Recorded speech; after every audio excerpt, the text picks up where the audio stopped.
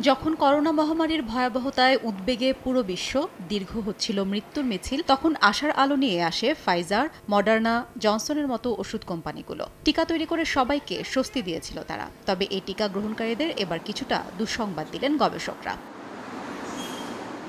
গবেষণা অনুযায়ী হৃৎপিণ্ড, মস্তিষ্ক ও রক্তে নানা ধরনের জটিলতা বাড়ায় করোনার এই টিকাগুলো। এ টিকার পার্শ্ব প্রতিক্রিয়া হিসেবে এ পর্যন্ত তেরো ধরনের শারীরিক জটিলতার রেকর্ড করেছেন গবেষকরা। ডব্লিউএইচওর গবেষণা অংশীদার নিউজিল্যান্ড ভিত্তিক সংস্থা জিভিডিভি জানিয়েছে এ তথ্য। গ্লোবাল ভ্যাকসিন ডেটা নেটওয়ার্কের একদল বিজ্ঞানী এ গবেষণা পরিচালনা করেছেন।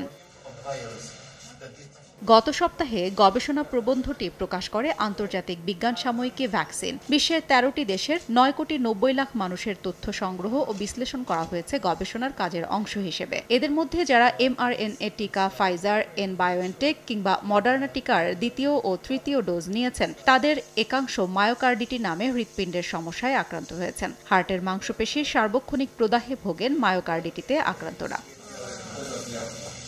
যারা অ্যাস্ট্রাজেনেকার তৃতীয় ডোজ সম্পন্ন করেছেন, তাদের একাংশ আক্রান্ত হয়েছেন পেরিকার্ডিটিতে। হৃৎপিণ্ডের কার্ডিয়াক মাংসপেশিতে প্রদাহ হয় যারা এ সমস্যায় আক্রান্ত হন। গবেষকদের মতে, ফাইজার এবং মডার্নার দ্বিতীয় ডোজ মায়োকার্ডিটির ঝুঁকি দুই দশমিক নয় গুণ এবং অ্যাস্ট্রাজেনেকার তৃতীয় ডোজ প্যারিকার্ডিটির ঝুঁকি ছয় দশমিক নয় গুণ বৃদ্ধি করে। এক মিনিটে নগদ ইসলামিক অ্যাকাউন্ট খুলতে ডায়াল করুন, চার, ওয়ান, সিক্স, সেভেন, হ্যাশ।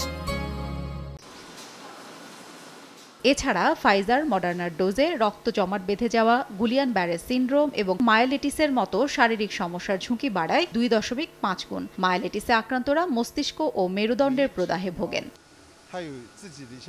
তবে টিকা নেওয়া বেশিরভাগ মানুষই যে এমন সব জটিলতায় ভুগছেন তা নয়। তবে গবেষকরা এ বার্তা দিতে চেয়েছেন যে পার্শ্ব প্রতিক্রিয়ায় ভোগা মানুষের সংখ্যা কম হলেও তারা গুরুত্বপূর্ণ। এসব সমস্যার টিকা প্রস্তুতকারী কোম্পানিগুলোকে করোনা টিকা আরও নিরাপদ হওয়া প্রয়োজন বলে বার্তা দেয়।